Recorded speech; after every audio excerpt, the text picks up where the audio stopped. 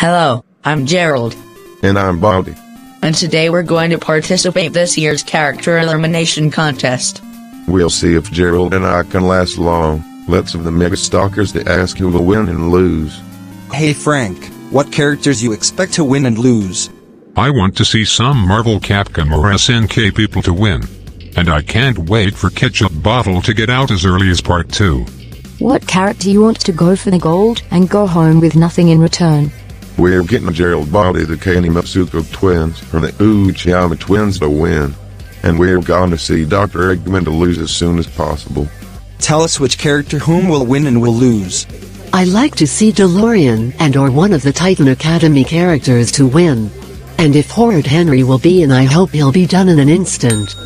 Oh, my food is ready. What character you want to see win and lose? Any character possible, like Gerald, Baldi, Chloe, or any of them. If it will be either Ketchup Bottle or Hippo Face, we want them out immediately. Which character who will win and lose? I like to see you, Morgan, or anyone win while seeing Dr. Wily and Yano Aishi to lose. Please tell us which characters who will win and lose. We're going to see Gerald Baldi Dalryman and Pikako to go for the gold, while Horrid Henry Yano Aishi Wily and Eggman get eliminated early. There will be 80 characters, 70 elimination vacancies, 7 runner-up entries, 3 trophies with a big fat ass load of cash.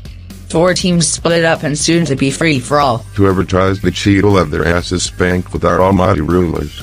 Character Elimination 2022, The Fate of Crossovers. New Age Jug Alliance starts June 2022.